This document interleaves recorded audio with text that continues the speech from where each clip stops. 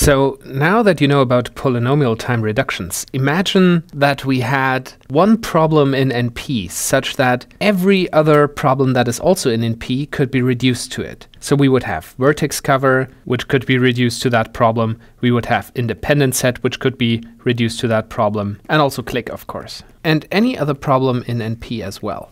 So no matter how complicated that problem, as long as it's NP, that means on a non-deterministic RAM you can solve it in polynomial time, there exists a polynomial time reduction to this ultimate problem. And such a problem actually has a name. So if you could find a problem in NP such that any other problem in NP is just as hard to solve or easier to solve, then that problem is called NP complete. Because in a way, it represents all of the problems in NP. Because if it's a problem that any other problem can be reduced to, an NP-complete problem is basically capable of solving or representing all other problems that are contained in NP.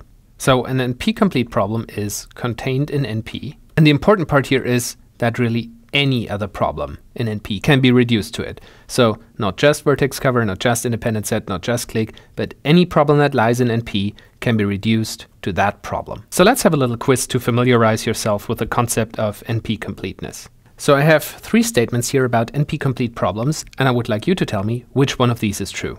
There can be more than one.